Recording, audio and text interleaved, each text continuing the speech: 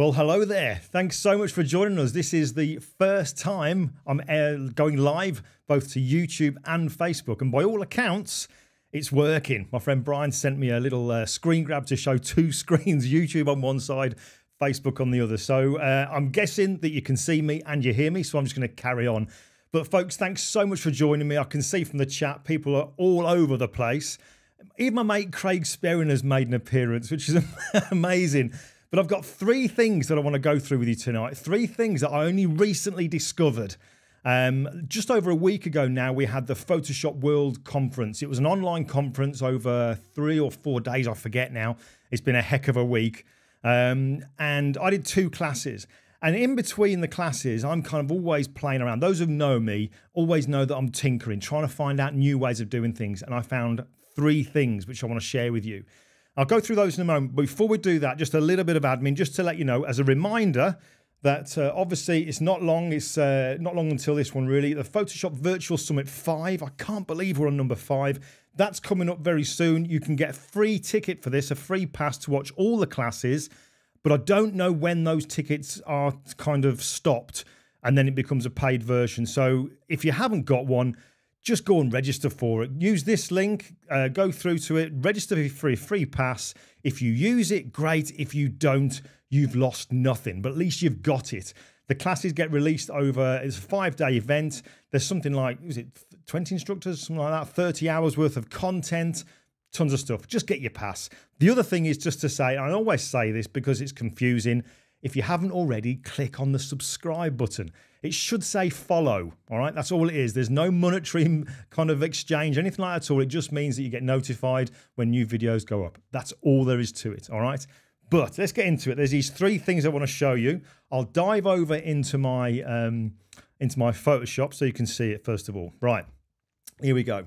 Let's dive into my uh, desktop. Oh, I can't get my desktop to come up. Bear with me a second. Let's just see if I can get my desktop to come up. Let's just create a new scene there and we'll go to source and we'll go screen share. There we go. Right, let's get rid of me. Cool. All right, so here we've got uh, a picture that I did a while ago now. This is a, a friend of mine called, well, I know him. I'm going to call him a friend because I definitely wouldn't want him not to be a friend. A guy called Steve Gomer that we did this picture of, of my friend Ian Monroe's studio, Skint Creative.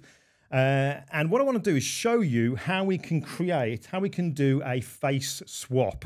All right. Now, the face swap, I've always been a big believer in the way that the best way to learn things in Photoshop is to make fun, is have a bit of fun with it because what you learn that's fun to do can also have a serious side to it. And I'll explain what I mean by that in a moment. But I want to show you now this quickly a technique that you can use for doing face swapping. And it's not involving masking. Okay, you can get Photoshop to do it automatically. There's no generative fill AI involved at all. So let me just uh, go back to my desktop. Now, what I'm going to do is I've got this picture of Steve, and I've got here this picture of my friend Anthony. Now, Anthony, I know at the moment is driving to Bristol to pick his wife up, so we can get away with doing this because he doesn't know he's being used. I don't think he does anyway. So, what I want to do is I want to put Anthony's face onto this picture here of Steve and trying to blend it in. And you can see when I jump between each picture, they're both very, very different. Very different lighting, very different colouring as well. But check this out. This is just incredible. All I'm going to do is get my lasso tool. Let's just zoom in a little bit. I'll get my lasso tool and I'm going to make a very loose selection around the inner part of Anthony's face. So I'm coming down to his chin, either side of his mouth, up around the outside of his eyes, and include a little bit of his forehead just there, like that. Once I've got that selection, I'm then going to put that up onto its own layer. So if I'm on a Mac, I hold down the Command key, Windows, I hold Control key, and I press J. And you can now see in the layers panel, I've cut that selected area out, and that's this little bit area just here. Then I'll get the move tool and I can click and drag this here over on top of the picture of Steve. This is where I want it to kind of be blended in. So let's just zoom in. I'm now going to kind of line it up so that everything kind of fits pretty well the same as Anthony's face fitting onto Steve's. So let's just go to free transform and I'll bring up the bottom so the mouths kind of line up something like that with the eyes. That's probably around there would be good. Let's just put this here now. Look at the width. I might just make it slightly wider like so. Okay, that's looking all right. Get the move tool and I'll put it over there. I'll lower the opacity and I'll just bring it into something like that. Okay, so now it's all lining up pretty good.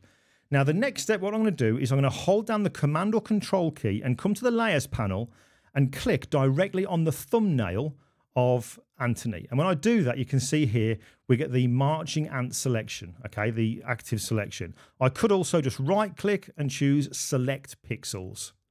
So once we've got that, the next part is really, really important. I'm then going to go to select, modify, contract. All right. And when we do that, we get this little dialog box comes up here and it says, how many pixels do you want to contract or make smaller this selection? Generally, you find around about five pixels will work perfectly well for this one. So I'll just click OK.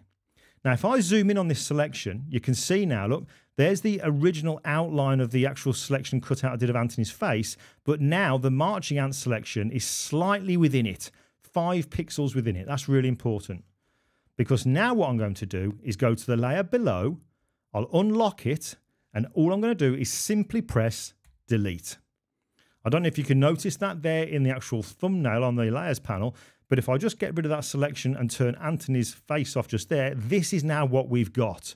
All right, so we've cut out the area of Steve and we've got Anthony on top. But if I lower the opacity of Anthony just a little bit and zoom in, you can see here's the lower opacity area, but this is the bit that overlaps just there. That's the overlapping bit.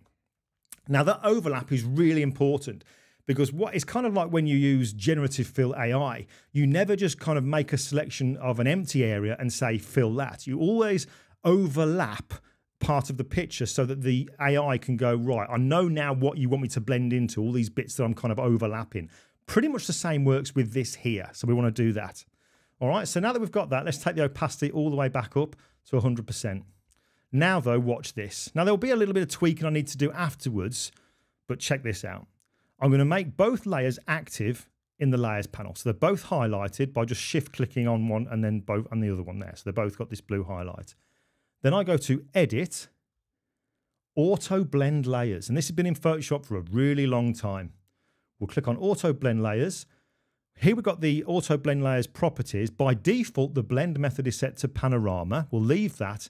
The most important part is at the bottom where it says seamless tones and colors definitely have a tick in that checkbox.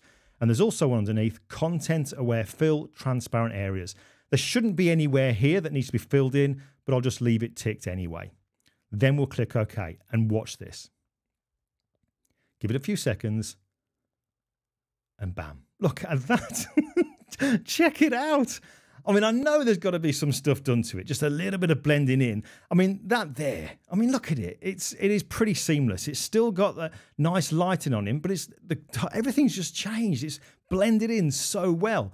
The bits at the top here, maybe where the skin tone don't match. If you watched one of the uh, YouTube lives I did maybe a couple of weeks ago when we used that skin fixing technique, that one there would work exactly the same on this one here. It would blend it in perfectly. But how cool is that to be able to blend in? Anthony Crothers is barbarian.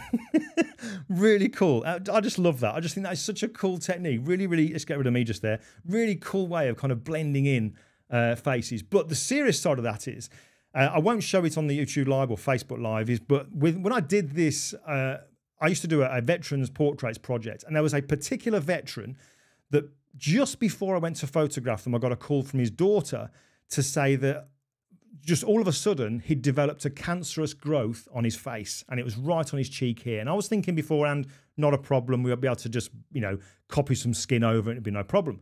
But when I turn up, it is quite significant. So all I did was I took a photograph of him positioned in such a way that the light hit one side of his face and shadow on the other. And then I moved the light to the other side, so the light then hit this side of the face and shadow on the other side. So I had both sides of his face lit and both sides in shadow.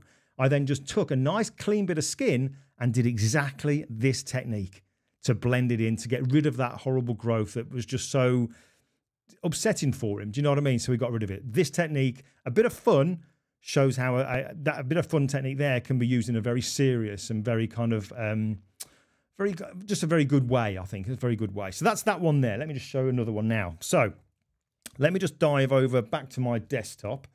And what I'll do is I'm going to show you now uh, this. Let's just get rid of this. and get rid of Anthony just there. And I'm going to go to this. Uh, let's go to Scott. Now, you would have seen, I'm sure, if you've followed me for a while, you would have seen this picture. This is a guy called Scott Kelly, who is a um, a yeoman warder, a beefeater at the Tower of London. Top, top fella, really good guy. And I went to photograph him. Now, what I want to do is I want to show you how I photographed him in two stages. But there's something else that I want to show you, something that I never showed when I showed the retouch on this picture before. And it is just, I love it. I absolutely love it. I'm, I'm really hoping that you like this. So what I'll do is let's have a look. I'm going to go, first of all, let's close that one down. And I'm going to open up these two images here. Because when I first photographed Scott, you can see the background here, this Westcott background that I used behind him wasn't tall enough to include Scott and this uh, this thing here that he's also holding. Somebody in the comments, if you know what that's called, please remind me. I'm always forgetting. But it wasn't tall enough to cover it. So I ended up taking two photographs. The light was in, in one fixed position. I had somebody behind the background, so I took one photo Scott stood perfectly still. I then took another photo as the background was lifted up. So then I've got photos with the background covering all the areas, albeit in two separate pictures. So let me show you first of all how I blended this together. Dominic, I think it's something more intricate than a spear. I'm, I'm sure it's I'm sure it's called something else, but I'll I'll go with that just, just for now. All right, let's have a go. So I'll go the crop tool make sure that the, now that we've got this new beta, uh, the generative fill is out of beta, let's make sure on the top it just says background default. And I'll just drag in the sides. So we don't need these areas on the sides. Let's go to there on that one. And I'll go to the other one and we'll crop in again because we don't need those bits on the sides just there. And we'll go to there as well. So then what I will do is I'll get this image, I'll get my move tool, click and drag onto the tab of the other image, let wait, wait for it to open up, bring the cursor in, hold the shift key down, and then let go. So now they're going to line up, but you can see there's an obvious problem. They don't exactly line up. So what I'll do now, make sure both layers are highlighted in the layer stack, and then go to edit. And where we had that auto blend layers, just above it is auto align layers. So we'll click on that, use the default settings and just click OK and very quickly it lines it up. I mean, you can see there, Scott did a very good job of standing still in between both of those shots. The next thing I'll do is get rid of the bits in both pictures where there is no background. So obviously this one here at the top. So what I'll do is I'll turn off the bottom one. We'll get the marquee tool, rectangular marquee tool, drag out a selection, and I'll just press delete. Oops, let's go to the top one just there and press delete on that one. Then we'll go to the bottom layer and I'll do the same with this bottom area. So don't need that and press delete. Now, if I turn both layers on, this is now what we're left with. And you can imagine if you had to manually blend this together, that would be quite a challenge because you can see how that grey background, even though, you know, it's the same lighting, because it's been moved up, it's slightly different on it. This is where that auto blend layers comes into its own. So just like before, we will make sure that both of the layers there are highlighted in the layer stack we go to edit and auto blend layers. Again, just use the default settings, blend method, panorama, seamless tones and colors, content aware filled transparent areas. That's going to be good because there are some blank areas top left, uh, sorry, top right and bottom left. Let's just click OK, keep our fingers crossed, give it a few seconds, let Photoshop do some hocus pocus, and, and there you go. That was actually really quick. So you can see it's done a really good job. Now, obviously what we could do at this stage is we could use generative fill, whatever, to make the picture wider, excuse me, make it a bit wider. But the bit I was always asked about was this bit here. The bit at the bottom, how did I sort that out? How did I fix it and make it look as if there was some skirting board going across the bottom? Well, let me show you. This, I, I love this. It's, this. This is fun. First of all, let's have a look. What's the width of this particular image? Let's go to image size and the width is 1984 pixels, so roughly 2000 pixels. Okay, so what I'll do then, I'll create a new document and the width will go for 2000 pixels. The height, I'm going to go for 250. All right. Um, doesn't matter what background color is, not at all. I'll just click OK. So that's what we've got here. Then what I'm going to do is go to select and all. So you can see now this entire area here has now got a active selection going around it. Because now what I'm going to do is use generative fill AI. And I'm going to type in pine wood. Okay, pine wood and click on generate. Let's just see what this now does for us. I'm hoping it'll give me some good ones that would look good for use as skirting board. So let's have a look. Give it a few seconds, roughly 10 to 12 seconds for this to come up. Oh, actually, that's not bad at all. So we've got that one, we've got that one, or we've got that one. I might go for, let's just go with this one here. I don't know what that little funky bit is there on the side, but we'll leave it anyway. In fact, tell you what, let's just get, yeah, we'll leave it. That's fine. Uh, okay, next thing to do then. Now that I've got my skirting board, I want to make it look as if I want to make it look as I don't know if the, I'm not somebody who does woodwork. It's a shame Anthony isn't here because he does. But I think it's called routing, where you give wood a little bit of a shape. Because what I don't want to do is a skirting board to just look like a plank of wood. I want it to have look quite ornate with it kind of shaped as it's against the wall there. I think it's called routing. I might be wrong. But let's have a let's have a quick look what we can do here. So now that we've got that, I'm going to go File, New, and I'm going to go a new document size. I'm going to go for the height of 250 and I'm going to go for the width of 250. I only need to be a simple square like that just there. And I'm going to fill that with grey because I'm going to do some dodging and burning. Watch this.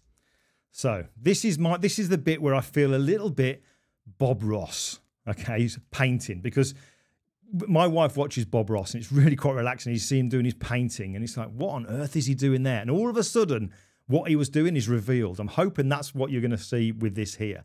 But this bit now, this is dodging and burning, and this really does work well. I'm going to go to my dodge tool over on the toolbar. And in the options bar at the top of the screen, leave it on midtones. The exposure, I'm going to leave at 20%. Okay. And I'm just going to do some dodging and burning on this, uh, this grey square. And I think, first of all, in fact, I'll tell you what, I'll get my burn tool first of all. Again, 20%. And I'll just do a little bit of dodging and burning on this. Let's do a little bit at the top. So I'll go over to the left-hand side and I'm just going to darken down across the top. All right, I'm just doing some brush strokes to darken it down across the top like that. And then I'm going to do a slightly bigger one.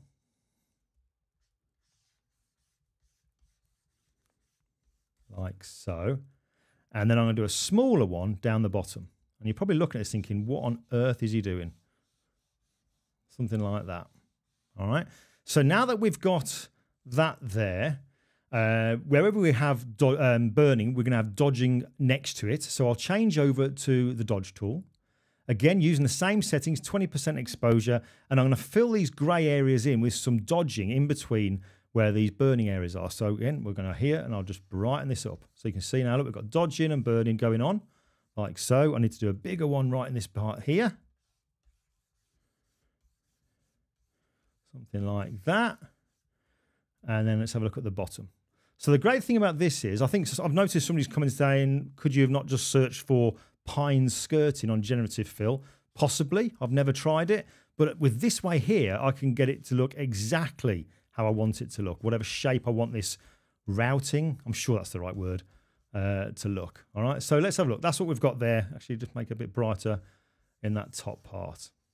So now that we've got that, what I'm going to do is go back to my skirting board here. Let's just lower the actual saturation in that. Let's get some hue and saturation. And I'm just going to lower the saturation of that. Just don't want it to be too strong. Something like that would look good. All right. Now that we've got that, let's get this dodging here and dodging and burning. Drag that now onto this layer. Hold the shift key down and it'll plonk it right in the middle. Go to free transform. I'll hold down the option key on Mac or Alt on Windows drag out one of the side handles, and that means the other side will also grow at the same corresponding size. So we've got that. Now look, if I zoom out, is that starting to look like there's a little bit of shape in it? Something like that. But now look, if I've got that, I can then go to my blend modes. So let's just go over them. And what I love about the blend modes now is that as we go over them in real time, we see an example of what they do. Look at that. Oh, come on. Look at that. That's looking good. I like it. That's looking pretty good, actually. I like that one. That one there. Now, look, can you see how that looks a little bit like it's got a bit of a shape to it now, like skirting board? How cool. Right, okay. Let's now create a merged layer at the top of the layer stack. I'll drag this now over into my picture of Scott, which is this one. And I'll drag it down and put it into position just there. Let's get rid of that horrible bit on the side. I'll stretch it out a little bit. Doesn't really matter. We'll go for that and then zoom in. All right, so obviously I'm just doing this quick. This is just to show you we want to cover that little bit there. I might just resize it. Let's squash it down a touch like so. And there we go. So now obviously it needs to go behind Scott. So I'll click on the layer directly uh, underneath this one, which is the one that contains the merged layers of Scott. And I'll go to select and subject. And we can see now here we've got the selection and then I'd add a layer mask, but I'm going to fill the areas that are selected in black. And those areas will then hide what you can see here of the skirting board. So I hold down the Option key on Mac, Alt key on Windows, come to the layer mask icon at the bottom of the layers panel and just click. Oops, so what's happened here? Hold on. so we go, oh, I need to go up to here, had the layer mask, and bosh, there you go. That's behind him. It's missed just a little bit on there. So let's just get a brush and make sure it's a little bit harder. And I'll just brush that in just there just to get bring some of that um, I noticed some people have said what it is but I can't see. So I'm going to say spear. We'll get the rest of the spear just in there like so. So something like that. We might want to put a little bit of a shadow underneath it maybe where the skirting board touches the floor. So I'll add a blank layer above the merged layer of Scott I'll get a brush make sure it's quite hard again like so and I want to put one dab on the left hand side, hold down my shift key, and then click on the right hand side. And I'll use the arrow keys on my keyboard just to bring that up a little bit. So it's just underneath it like so. So it's just a little bit of a shadow where that wood's touching there. It's obviously going across Scott's feet. So we need to have another layer mask. I don't need to make one. I can copy this one just here at the top of the layers panel. Hold down the option key, click and drag, and it'll put it there as well for me. So you got something like that. And again, there's so much more you could do. You could you could maybe look at having a bit of lighting because you can see here this right hand side of the image is where the light source was. So this side, side is brighter. This slide side is in slightly a bit in shadow. So I guess we could kind of maybe add a layer mask. Sorry, add a, add a new layer. We'll add a clipping mask and we could just get a gradient. Let's have a look. Let's get G, go for the gradient, make sure it's a radial gradient and we'll just do, let's have a look, will that work there? There we go, it's a bit more on that. Drag it across and we could just lower the opacity, I don't know, something like that maybe, just to kind of bring down the exposure on it. But how cool is that? To be able to blend those images together which I find is incredible because there's all this talk about generative fill AI and artificial intelligence in Photoshop being the answer to everything when really it's it's not. It's just a tool. There are still some fantastic techniques in Photoshop that, and tools that we can kind of turn to to create this kind of stuff. Um, I forget who was. I think uh, let's have a look on the comments just here for a second. Um, Tim said, "Could you have searched for pine skirting?" Tim, I don't know. I, I guess you, I guess you could have done, but I'm going to have to try that out. I'm going to have to have a look to see if that's possible to see if you can get it. But like I said, by me doing the dodging and burning, I can get it to look exactly how I want to, and it's amazing, isn't it? Just that light and shadow how it can make that impression of something kind of having a bit of shape because the shadow parts appear further back, the light parts appear closer, and that's what creates that illusion of that shape. So, kind of cool with that one. Right, let's have a look at one last thing I want to show you. Let's just dive over into here, and then I'll have a look at some of the questions. Uh, let's just close that down, close that down, and close that. I love that. Dodging and burning, so cool. Right, let's just open up this last one here. Uh, and this goes back to the picture you may remember a couple of weeks back on a YouTube live, two or three weeks ago anyway. I showed this picture here of the wonderful Di Edwards, absolutely wonderful woman. And I showed how to use that skin fix. It's kind of like a dumbed down version of frequency separation, of how you can blend the skin tones very, very easily together. I want to just show you something else that I've discovered that you can actually use the remove tool when you're using that particular technique, but you've got to use it in a certain way because if you don't, it kind of goes a bit weird. Let me show you what I mean. Right, so here is the original picture, out of camera picture, and this is what I originally showed in that video of how you can fix where the skin tone on Di's forehead here didn't match the skin tone of where her hairline is. And the action. If you're part of my email group, you'll know that you can actually get hold of this action so that you can uh, you can do this technique. So let's have a quick look at that. I'll play the action just here. Uh, skin fix. It asked me to blur it just a little bit. So I think we'll blur. I think this one here is around about six or seven, something like that. Click OK. And then there we go. So now when we play that action, it creates these three layers. The layer that's got the color on it at the bottom, the layer with all the detail on it at the top, which is this one just here. And then we've got this one in the middle, and that's the one where you do all the fixing of all the color issues, like blending in the skin tone. So originally what I showed was how you could um, get a gradient. You'd get a radial gradient, making sure you use the classic gradient option in the tool in the options bar just there. And you've got to make sure as well that you use in the basics section the middle one here, which is foreground to transparent. You definitely need to make sure you got that one. And also at the top where it says dither, get your money's worth. Put a tick in the dither checkbox. And we just kind of sample some of the skin color. Let's just zoom in a touch. And then we can kind of help it to kind of blend in. But you can also, like I said, you can use the remove tool. So come over to the toolbar. Here's the remove tool. And let's just say, for argument's sake, I don't really want to do this, but let, this is just purely for demonstration. Let's just say that we want to remove this kind of mark here on Di's forehead and maybe these bits over here, all right? What I'll do is I'll get the remove tool and you can see we get this kind of pinkish overlay. Then I'll let go and give it a, a second or two and it'll go to fix it. Now, it might look on your screen, I can't really tell what the resolution is going to be like for you, but it might look like it's fixed it, but it hasn't. Because if I zoom in, I really don't know if you can see this. But what you've got now is repeated uh, detail. If I turn every layer off apart from this one, that there, can you see? Oh, you should only see color on this layer, but you can see texture. You can see color on, you can see texture and color. Here is where I use the gradient on her forehead and hairline. You can see that's just a gradient there of color, but here it's actually copied also the detail.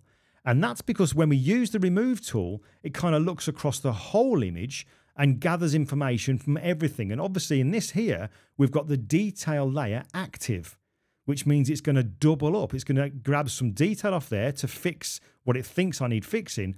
But on top of that, we've got even more detail. So we've got twice the sharpening, twice the detail in that one particular area. So that's not how to use it. So let me just show you how we're going to do it. Let's just make sure that we haven't got that just there at the moment. Right, all you need to do, very, very simple, and it works so well, is just turn off the detail layer. So now we are left with a blurry image, which is really just a collection of color. We'll get the remove tool. We'll go to that blank layer there, which is where we do all the fixing on, and I'll brush over that. Let go. And there you go. It's fixed it. If I turn the detail on, again, I don't know what your resolution is like, but that there, all the detail is exactly as it should be but the color of that mark has gone as well. Let's just turn that one off and we'll go to this part up here. Let's just brush over that. The remove tool is just incredible. So we'll go to there, give it a second or two to fix it. You can see now that's been removed. Turn the detail on and look at that. Seamless, the way that's fixed it. So that was just a quick one there, just to kind of let you know that if you are going to use that technique, that dumbed down uh, dumbed down frequency separation technique. You can use the remove tool, but just make sure that you turn off the detail because it will look at everything and it will kind of double up. And then you'll have areas on your picture where there's more sharpening, more detail than others, and it just won't work. Right, let's have a quick look to see if there are any questions. Now, there probably are. Let's have a quick look, scout through. So just bear with me while we uh, have a quick look through the comments section. I guess it's what's really good about this is I can see that I can see where you're watching. It's got like your Facebook logo or your YouTube logo, which is fantastic. So let's just scroll down, see if there's any question. Dominic, I'm still using a mouse. Dominic says, I'm still using a mouse. Uh, oh, blimey, keep moving that down there. I'm still using a mouse. Do you have any uh, tips for using a tablet?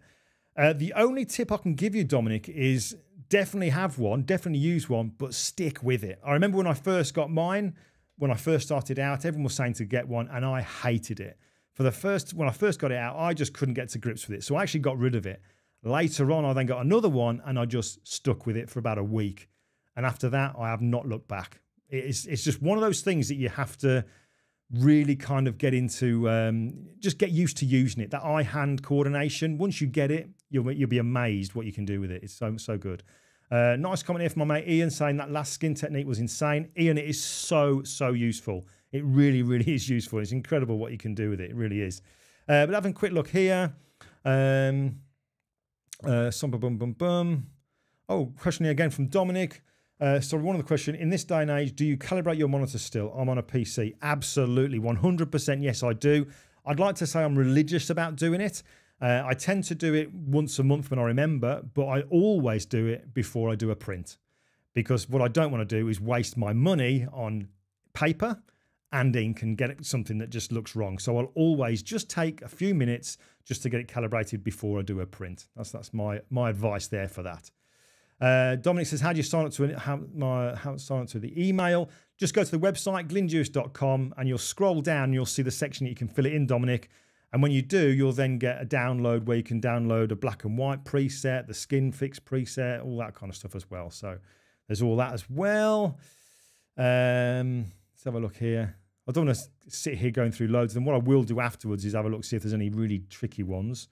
Um, and then I can answer you directly. But no, I think that's good. Looks like it's been working all right going through to Facebook and YouTube. So my mate Brian, who's a moderator, always he's always got my back. He's always looking out for making sure everything's all right. I've not had a message come through saying it's not working, so that's good.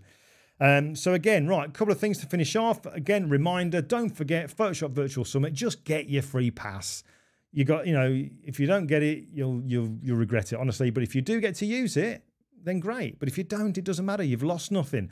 And the other thing I wanted to mention as well, because I did this uh, last time, was to mention about BenQ, because BenQ, who uh, I do do some work with, I'm one of their ambassadors, which I am genuinely really proud of it.